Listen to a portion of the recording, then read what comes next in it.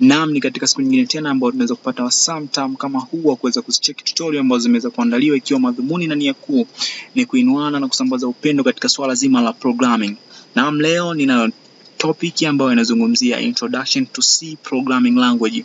Kama tulivyokisha kuona katika tutorial ambayo ilipita, tulikwenda kuangalia sababu mbalimbali ambazo zingeweza kutukonvinsi sisi kusoma C programming language kwa sababu tuliangalia kwamba C ilikuwa ni moja C ni moja kati ya lugha kongwe sana ambazo zilipelekea kuzaliwa kwa lugha kama Java, C++ na nyinginezo nyingi.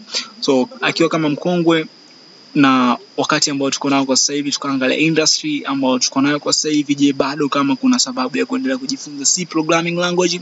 Na jibu lilikuwa ni ndio.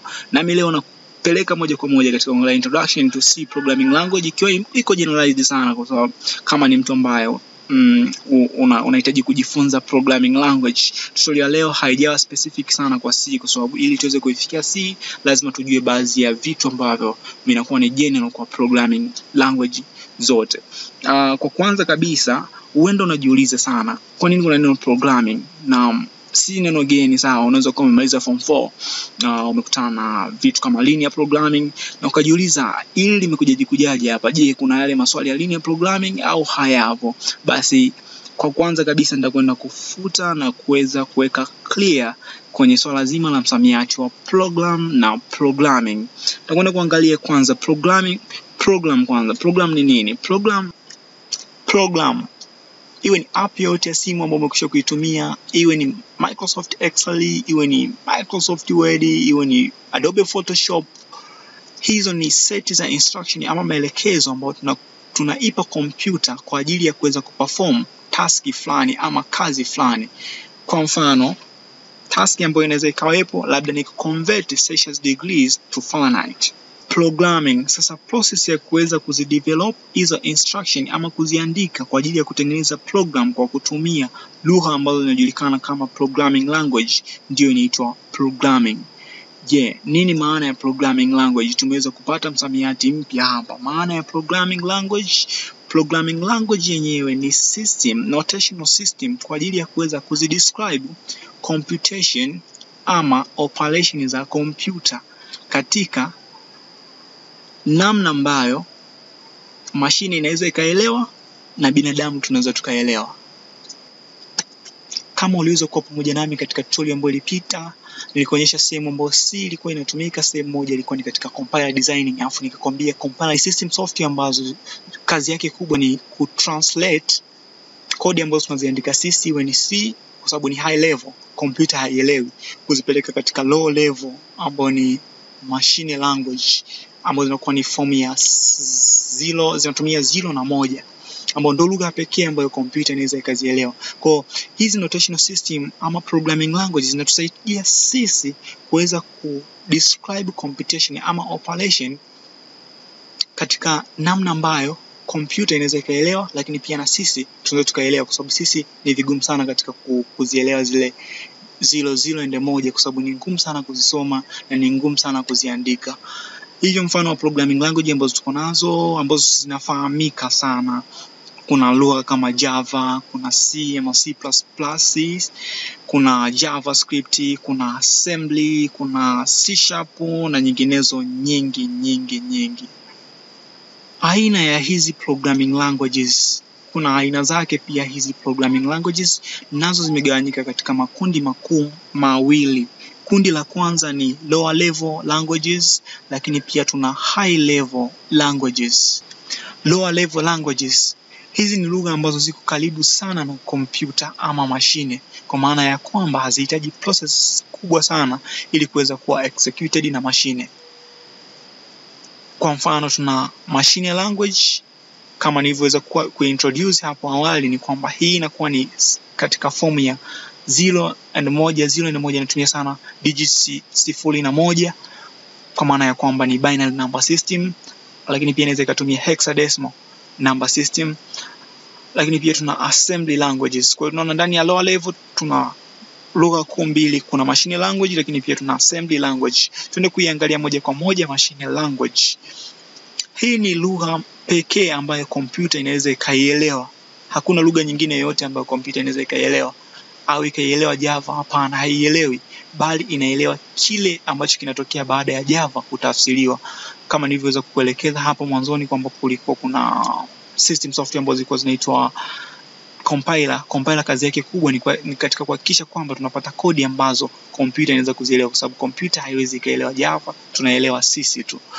Sifa kuu za machine language, cha kwanza yenyewe ni, ni machine dependent, kwa maana ya kwamba hizi zinakuwa zina uhusiano mkubwa sana kati ya zenyewe na structure ya mashine husika ama kompyuta husika, na kama tunavyojua structure za kompyuta zinatofautiana kutoka kompyuta moja kwenda nyingine, hivyo utakavyoitoa katika mashine ya namna fulani kwenda katika mashine ya, ya, aina nyingine, actually itakuwa ni ngumu sana kufanya kazi kwa sababu ni structure mbili tofauti, ni mashine mbili tofauti ambazo zina structure mbili tofauti. Lakini pia kama nilivyokujulisha awali, zenyewe zinakuwa executed directly na na CPU. Ku execute maana yake ni kuchanganua ama kuinterpret ili kuweza kupata logic ambayo tumeweza kuipresent ndani ya programu yetu. Lakini pia bila kusahau zile zinakuwa in form of binary or hexadecimal. Binary kama nilivyokwisha kukujulisha hapo awali, hizi ni namba ambazo zinakuwa katika base 2 ambazo ni sifuri na moja, sifuri na moja, sifuri na moja, sifuri na moja. Lakini pia kuna hexadecimal, wakati mwingine inaweza ikatumia hexadecimal. Hexadecimal hii ni base kumi na sita kwa maana ya kwamba ni zinakuwa ni namba kutoka something like sifuri mpaka kumi na tano na huu ni mfano wa machine code. Ni kodi ambazo zimeandikwa katika system ya binary number. Naona sifuri moja moja nyingi hapo, ni kodi ambazo ni ngumu sana kuzielewa na kuziandika. Lakini pia kwa upande wa level tuna assembly language. Hii ilijengwa na instruction ambazo zilikuwa zina zinatumia kodi ambazo zilikuwa ni rahisi kuzikumbuka kwa sababu zilikuwa hazitumii binary number system ama kama kodi ambazo tumekwisha kuziona hapo za mashine kodi ambazo ziko katika fomu ya binary number systems ambazo ni ngumu kuziandika hata kuzisoma. Zenyewe zilikuja zikarahisisha, zikatuletea kodi ambazo kwa kiasi fulani zilikuwa ni rahisi kuzikumbuka kwa sababu zilikuwa zinatumia maneno na si system ile ambayo tuliona hapo katika kuperform operation mbalimbali. Mfano wa program ya assembly language ni hiyo hapo, kama unavyoiona hapo, imekwenda kuandikwa katika maneno ya kawaida. Tunaona kama kuna neno section ambayo ni la Kiingereza kabisa, kuna dot text, kuna global, kuna maneno kama move, start na mengineo Ni program ambayo kwa kiasi fulani ni rahisi kuielewa, tofauti na ile ambayo tulikwisha kuiona pale awali. Lakini pia pamoja na hayo yote tunaona kwamba assembly language kwa sababu ni lugha ambayo haieleweki na kompyuta ama mashine, haiko katika mashine language, kwa sababu tunajua kwamba mashine language ndio lugha pekee ambayo inaeleweka na kompyuta. Basi ilihitaji system softwares ambazo zilikuwa zinatambulika kama assemblers kwa ajili ya kuitafsiri kutoka katika assembly language kuipeleka katika machine language ambayo kwa hali ya kawaida ndiyo lugha pekee ambayo kompyuta inaielewa. Naam, kwa upande wa lower level languages nadhani sina la ziada, basi nikupeleke moja kwa moja kwa upande wa high level languages. High level languages ni lugha ambazo zenyewe zilikuwa zi, ziko zinakaribiana sana na lugha ya Kiingereza kwa maana ya kwamba zilikuwa ni rahisi ukilinganisha na assembly. Kwa maana hiyo urahisi huo uliweza ku kusolve tatizo kubwa kwa programmers na kuweza kumsaidia programmer kuweza kufocus katika problem ama tatizo ambalo walikuwa wanalisolve tu na si katika ugumu wa lugha. Tunaona kuna mifano mbalimbali ya high level languages. Mfano madhubuti kabisa tunao C, lakini pia tuna C++, kuna Java, JavaScript, Python, Visual Basic na nyinginezo na nyinginezo na nyinginezo. Naam, bila kusahau kwamba high level nazo ziliandikwa katika namna ambayo kompyuta haiwezi ikaelewa, kwa sababu kama tulivyoweza kujifunza kwamba kompyuta inaweza kuelewa machine code ambazo ziko katika form ya binary numbers kumaanisha sifuri na moja, mfano wa kodi ambazo tulikisha kuziona hapo awali, basi vivyo nazo zilihitaji kuwa translated kutoka katika high level kwenda katika machine code basi nakwenda kupeleka moja kwa moja katika translation ya hizi. Zilifanyikaje fanyikaje.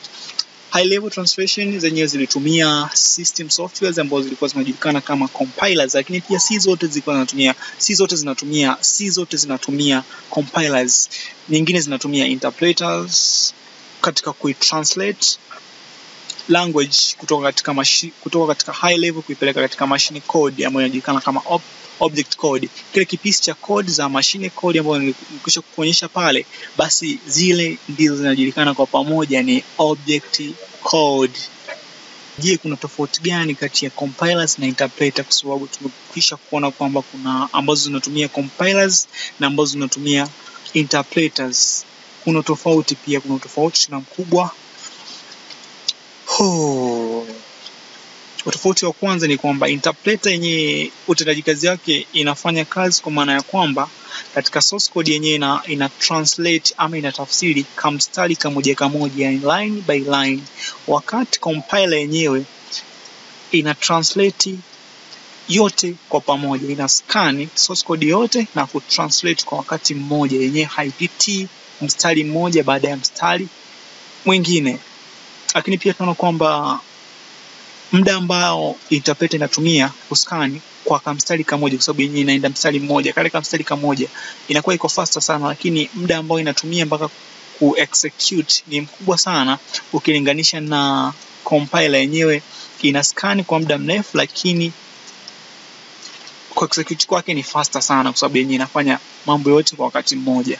Lakini pia tunaona kwamba hii hapa hata kama ndani ya programu yako kuna error, yenyewe ita execute mpaka ikute error, ndipo itakapotoa errors. Lakini tunaona kwamba hii huku compiler compiler yenyewe ina, ina, ina, inatoa error error message inakutaarifu kwamba ndani ya programu yako kuna error baada tu ya kuweza kumaliza. kwao kabla haijamaliza haiwezi kupata kama imekutana na error. So baada ya kumaliza kuscan ikikutana na error ndipo ambapo inaweza kujulisha kwamba actually baada ya kumaliza kuscan kama ndani ya programu yako kuna errors, ndivyo ambavyo inakuja kukujulisha mwishoni baada ya kumaliza process yote. Naam, bila shaka kuna faida kubwa sana za kuweza kutumia high level na tusitumie machine code, tusitumie assembly. Faida zake ni zipi sasa? Kiukweli, faida ya kwanza zenyewe ni rahisi sana kuziandika na kuzisoma kwa sababu zinatumia lugha ambayo inafanana kabisa na English, maelezo ya kawaida ya Kiingereza. Kwa hiyo inakuwa ni rahisi sana, kama uko familia na English, inakuwa ni rahisi sana kuweza kuelewa, kuzisoma na kuziandika. Lakini pia kutokana na kutumia hii English, maelezo ambayo inafanana na English, hii inakuwa ni rahisi sana katika kudebug. Kudebug maana yake ni kufanya correction ama masahihisho ya errors ambazo zipo ndani ya programu yako. Lakini pia mwisho si mwisho, lakini pia kuna zenyewe zina zinatusaidia zina, zina, zina sisi kutengeneza portable codes, kwa maana ya kwamba code ambazo unaweza ukazilani katika mashine tofauti tofauti, zenyewe zinakuwa sio mashine dependent.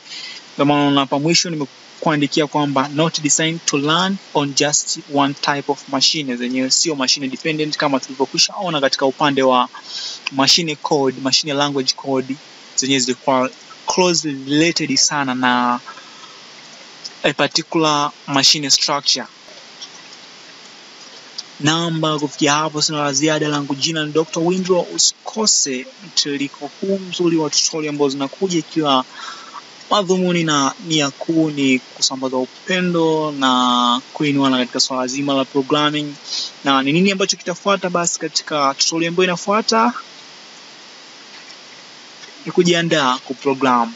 Tutaangalia ni vitu gani ambavyo tunatakiwa tuvifanye ni maandalizi gani ambayo tunatakiwa tuyafanye ili tuweze kuprogram, kuanza kuprogram moja kwa moja.